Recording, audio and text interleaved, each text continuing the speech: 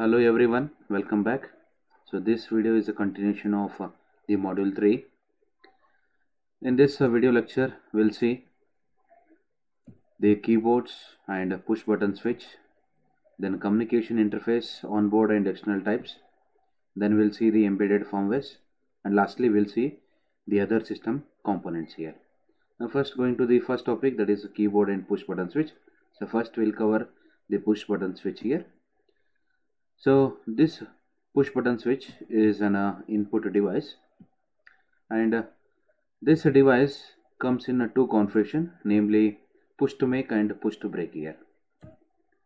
In the push to make configuration the switch is in the open state and it makes a circuit contact when it is pushed or pressed here. And a push to make switch allows electricity to flow between its two contacts here. Example like doorbell then uh, calculator buttons example for push to make here. Now second configuration that is a push to break configuration. In this uh, the switch is in the closed state and it breaks the circuit contact when it is pushed or pressed here. A push to break switch does the opposite of the push to make. That is when the button is not pressed the electricity can flow but when it is pressed the circuit is broken here. For example like a fridge light switch then alarm switches are example for the push to break here. Then the push button stays in closed state for push to make type or open for push to break type state here. Usually a push button is used for generating a pulse as you can see in the diagram. So the left side which is used for generating the low pulse and at the right side. So this circuit is used for generating the high pulse here. So usually the push button which is connected to the controller at this pin okay? So VCC which is a power supply to this circuit okay? So this uh, low pulse generator which is used for push to break configuration and this high pulse generator so which is used for push to make configuration of the push button here. So usually the push button is used for generating a, a momentary pulse. And depending on the way in which the push button is interfaced to the controller it can generate either high pulse or low pulse here. In embedded application push button is generally used as reset start switch and pulse generator here.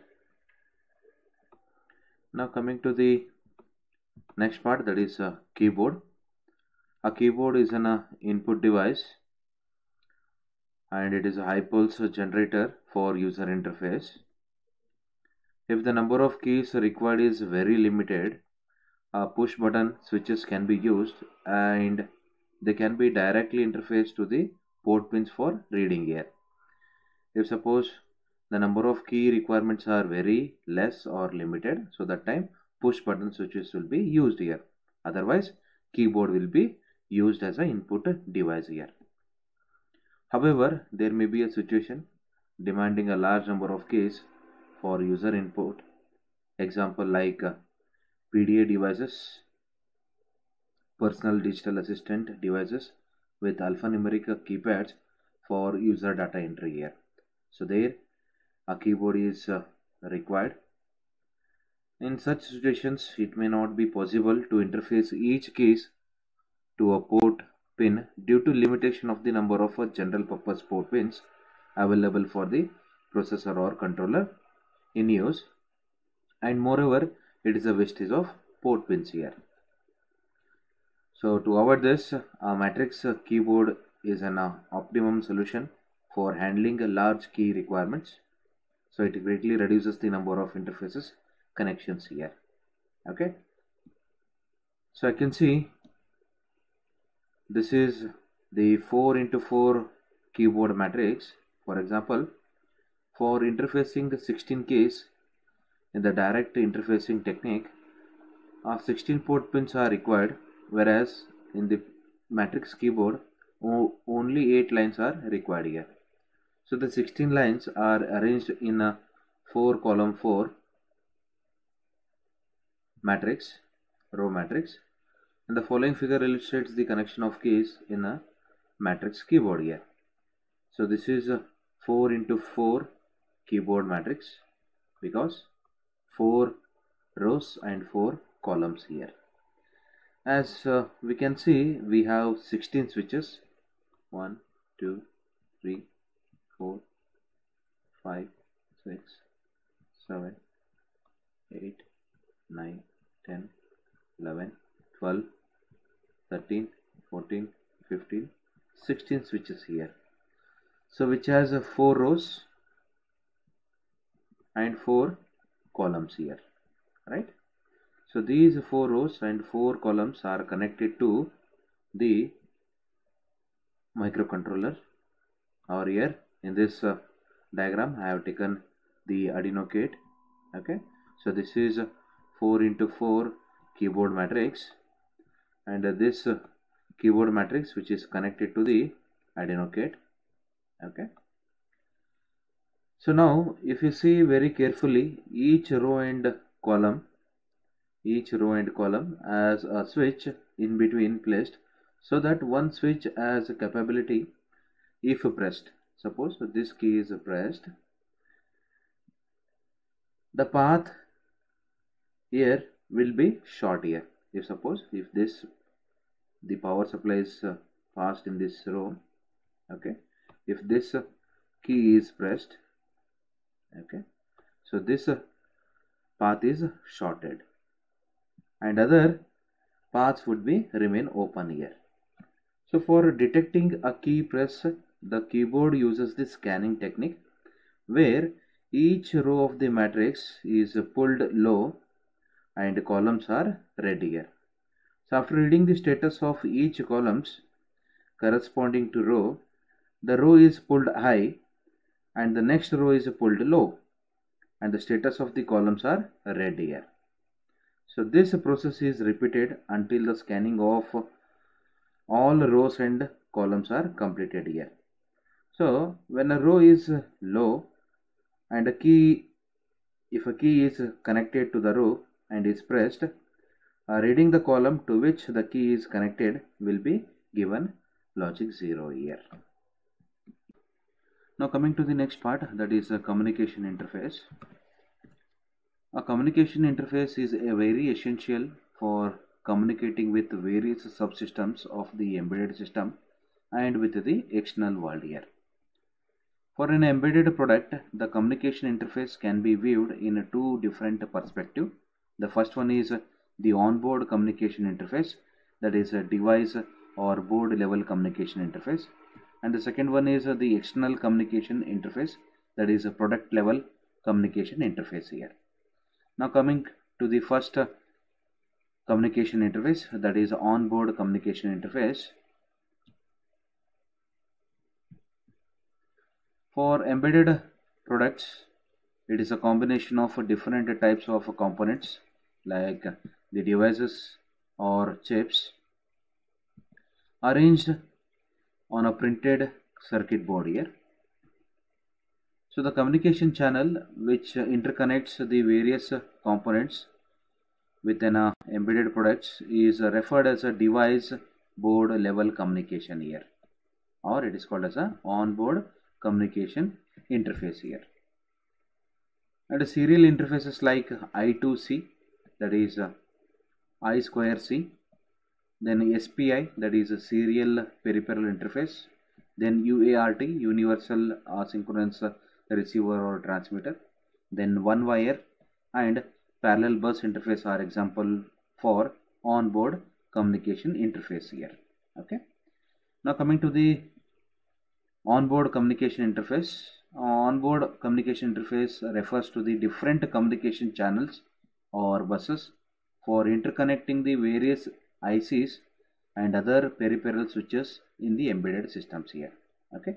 So they're all found in a board here printed circuit board here. First one that is uh, inter integrated circuit interface that is I2C and second one the serial peripheral interface bus then UART universal asynchronous receiver transmitter then one wire interface then parallel interface here. Now we'll see in detail about these onboard communication interfaces here. Coming to the first one that is I2C interface bus. So the I2C that is inter integrated circuit bus pronounced as I square C is a synchronous bidirectional half duplex. Half duplex that is one directional communication at a given point of time here and two wire serial interface bus here. The concept of I2C bus was developed by Philips Semiconductors in the early 1980s and the original intention of I2C was to produce an easy way of communication or connection between a microprocessor or microcontroller system and the peripheral chips in television sets here. Okay? So the original intention of I2C was to produce a connection between the processor or microcontroller with the peripheral chips in television sets here. The I2C bus comprise of two bus lines namely the serial clock line and serial data line here. Okay so these are the two bus lines found in I2C and SCL line is responsible for generating synchronization clock pulses and SDA that is a serial data line is responsible for transmitting the serial data across the devices here and I2C bus is a shared bus system to which many number of I2C devices can be connected and devices connected to the I2C bus can act as either master device or slave device here. So here master device means it is responsible for controlling the communication by initiating or terminating a data transfer and sending the data and generating necessary synchronization clock pulses here. So this is all the responsibility of the master device. And the slave device wait for the commands from the master and response upon the receiving the commands here. So they will wait the commands which are given by the master. So according to that commands they will be act with the master device here. So the master and slave devices can act as either transmitter or receiver here. Regardless whether a master is acting as a transmitter or a receiver the synchronization clock signal is generated by the master device only so they can act either transmitter or receiver here, both master and slave here.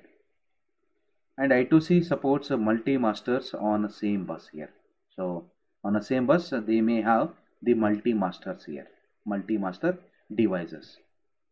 So the following figure shows bus interface diagram which illustrates the I2C support connection of master and slave devices on the I2C bus here. So this is what the master device that is either microprocessor or microcontroller okay? So these are the port pins of the processor or controller. So which has two lines. One is a serial data line and the serial clock line here okay?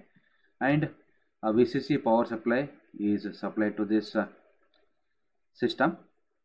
And we have the two buses that is I2C buses. One is SCL and another one is the SDA okay so SCL clock line and SDA that is a data here so this system may have a different slaves. So here we have slave 1 that is I2C devices. That is example serial double EEPROM and second slave device that is I2C device here. Okay. So all the operations which will be controlled by the master device here. So now we'll see the sequence of operations for communicating with an I2C slave device. Like in step 1 the master device pulls the clock line that is SCL line. So this line of bus to high here. So this will set SCL is equal to 1 so in the first step, the master device pulls the clock line SCL of bus to high here by setting up the SCL is equal to 1 here. And the master device pulls the SDA line to low that is SDA line will be set to 0 so this SDA will be set to 0 here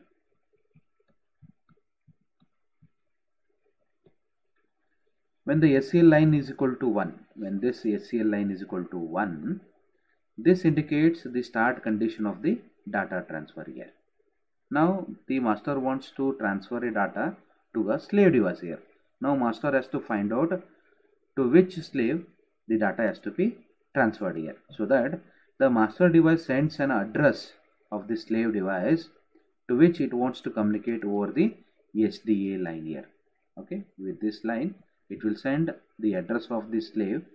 Suppose consider for example it wants to communicate with this slave 1 I2C device that is example serial double EEPROM so it will send the address of this slave over the SDA line here. Okay. Now the master device sends the read or write operations. Like by setting up the bit level is equal to 1 it indicates read operation. If a bit value is equal to 1 it indicates what? Read here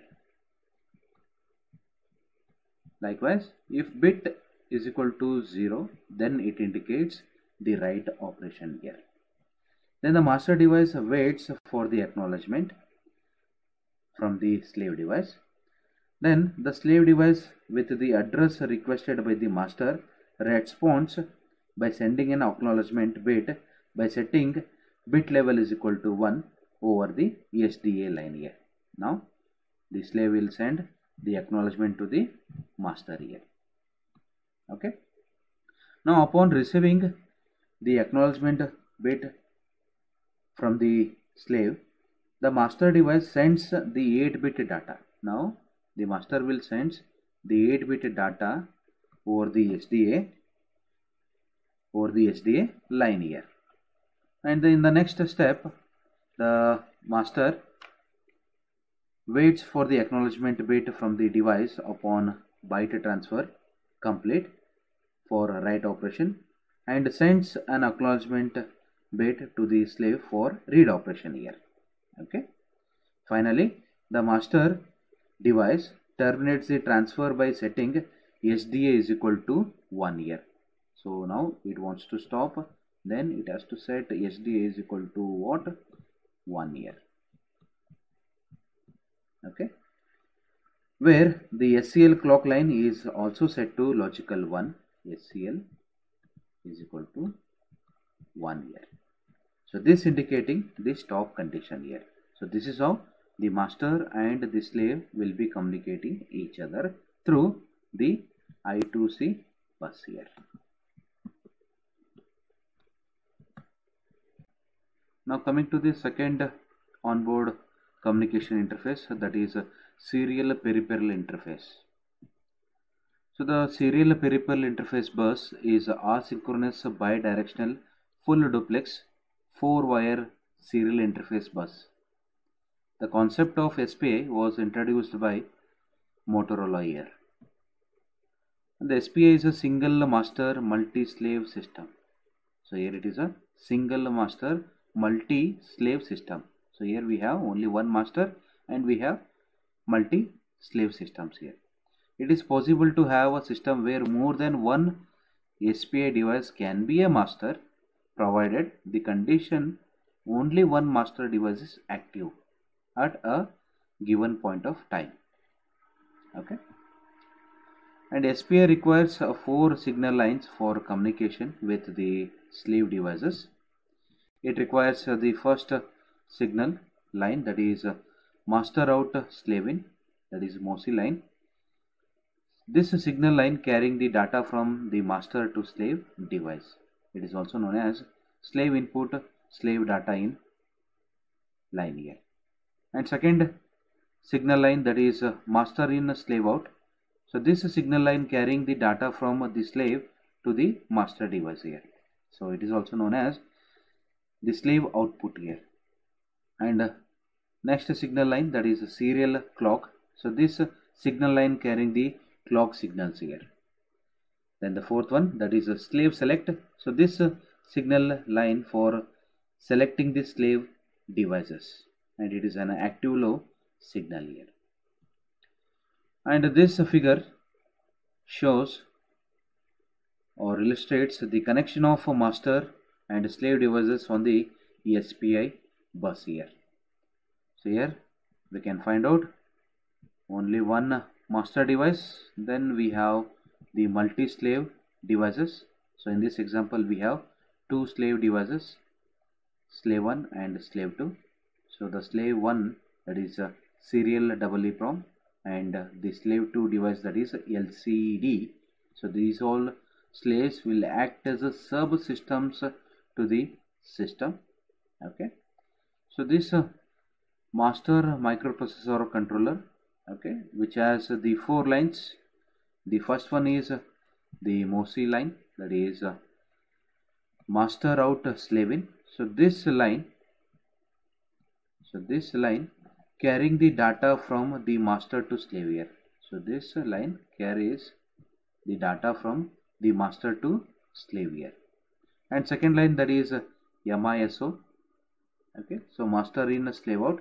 So this signal line carrying data from so this signal line carrying data from slave to master here. Got my point.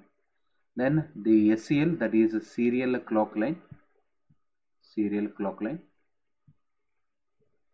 So this uh, line carrying the clock signals and the slave select that is SS so which will select the slaves. So here in this case we have two slaves.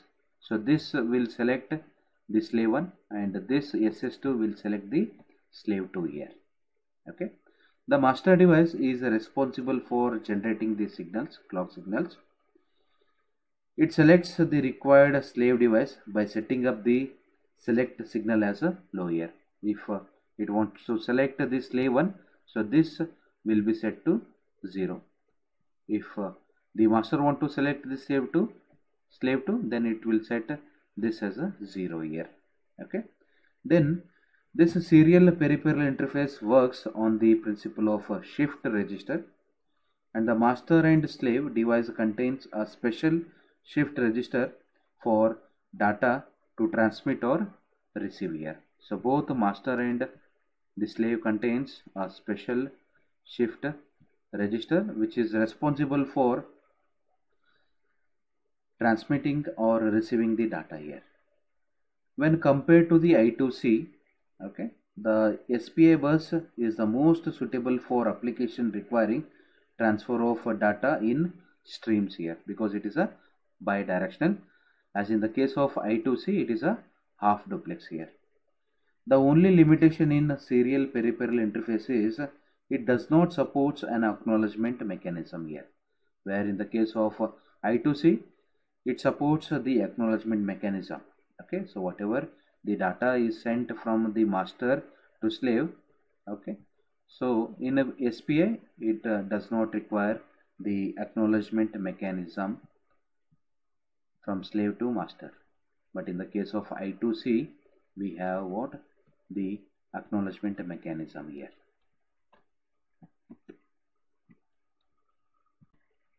Now coming to the next onboard communication interface that is UART that is a universal asynchronous receiver transmitter here. So this UART based data transmission is asynchronous form of serial data transmission and UART based serial data transmission does not require a clock signal to synchronize the transmitting end and receiving end for transmission here. So it does not require the SCL line here, synchronous line between the transmitter and the receiver here. Instead, it relies upon the predefined agreement between the transmitting device and receiving device here.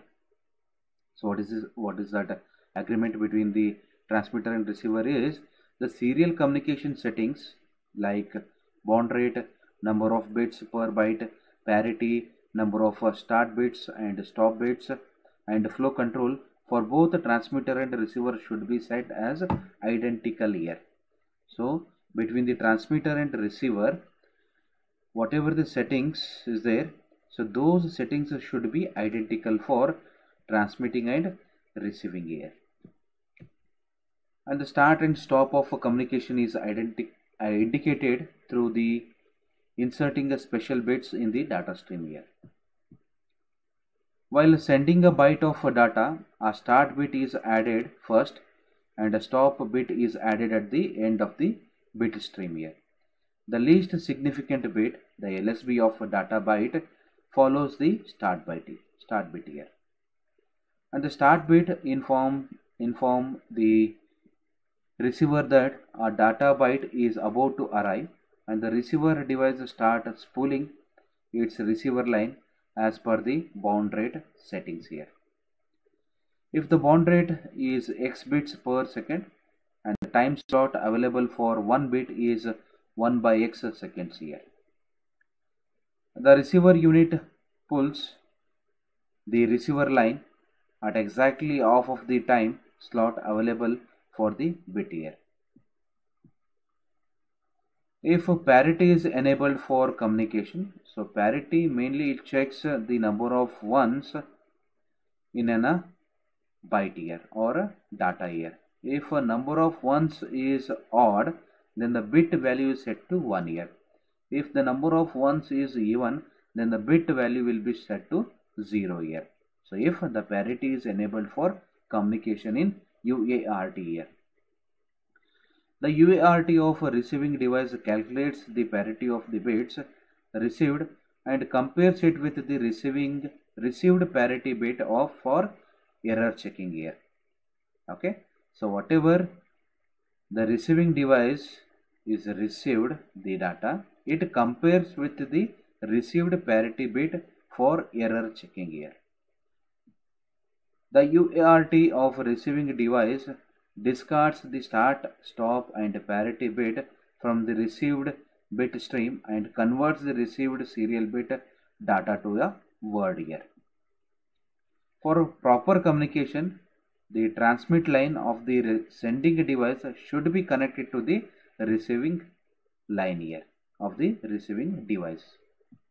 Uh, the following figure shows the UART that is uh, the transmitting line that is uh, a TXT so the TXT which is connected to the receiving end here. So here also the transmitting end is connected to the receiving end of between the two UARTs here. In addition to the serial uh, data transmission function, the UART provides hardware handshaking signal support for controlling the signal data flow as well as the UART chips are available for or from the different semiconductor manufacturers here like the National Semiconductors 8250 UART chip is considered as the standard setting UART so it was used in the original IBM PC systems here. Now coming to the next onboard communication interface that is a one wire interface so this one wire interface is an uh, asynchronous half duplex communication protocol developed by Maxim Dallas Semiconductor. It is also known as Dallas one wire protocol. It makes use of only a single signal line wire called DQ line data or one wire input output line for communication and also follows the master slave communication model here. Uh, one of the key feature of the one wire bus is that it allows power to be sent along the signal wire as well here. The one wire interface supports a single master and one or more slave devices on the bus here. So it supports only one single master and one or more slave devices on the bus here.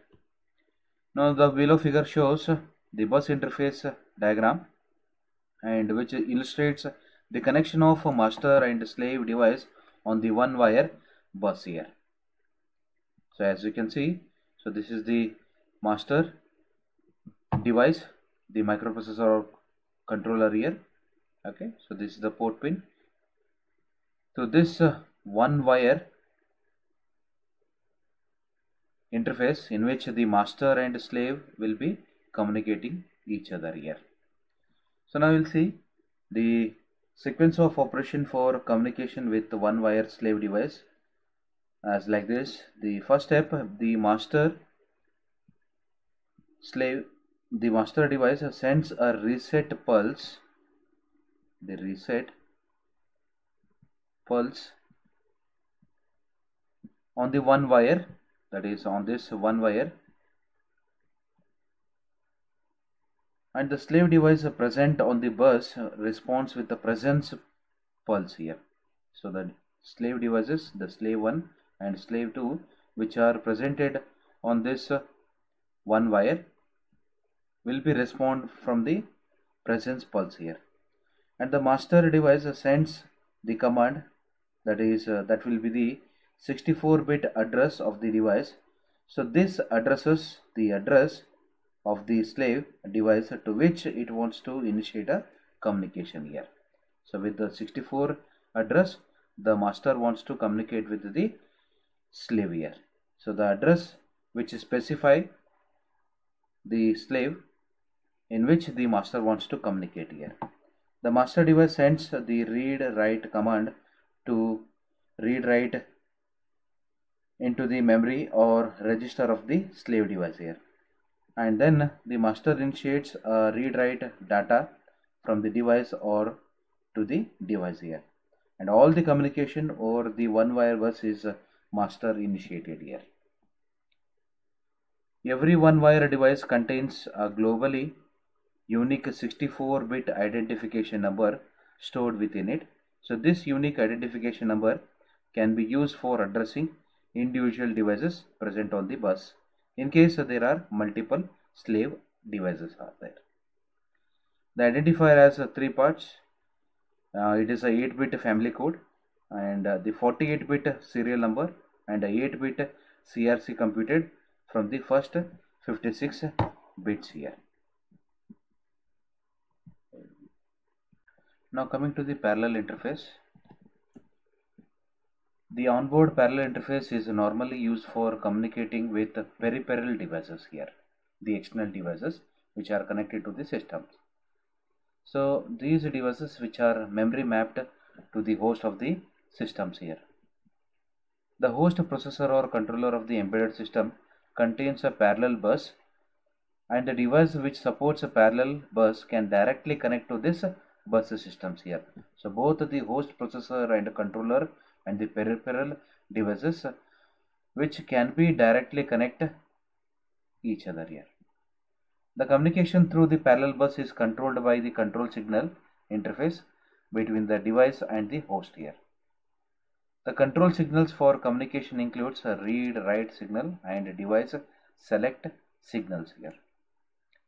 The device normally contains a device select line and the device becomes active only when this line is asserted by the host processor here. So the direction of data transfer host to device or device to host can be controlled through the control signal lines for read and write. Only the host processor has control over read and write control signals here.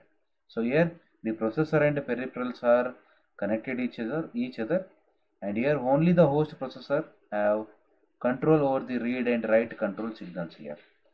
So as mentioned uh, earlier, the parallel communication is a host processor initiated. If a device wants to initiate communication, it can inform the same to the processor through interrupts here. If the peripheral device wants to initiate a communica uh, communication with the host processor, so then through interrupts it has to be initiated here. The width of the parallel interface is determined by the data bus. So width of the host processor, it can be 4 bit, 8 bit data, 16 bit, 32 bit or 64 bit data bus here. The bus width supported by the device should be same as that of the host processor here. A parallel data communication offers the highest speed for data transfer between the host processor and the peripheral devices here. The bus interface diagram shown in the figure illustrates the interfacing devices through the parallel interface. So this is the host processor or controller. So in which parallelly connected with the peripheral devices example the ADC the peripheral device so which is connected parallelly with the host microprocessor here. So the connection between the host processor and peripheral device is parallelly. So the data bus is directly connected with the databus pin of the peripheral device then read write which are connected each others okay and the address bus E0 to AY so which identifies through the address decoder circuit here okay. This is what the parallel onboard communication here. And in the next video we'll see the next part of this module okay thank you. Thank you for watching this video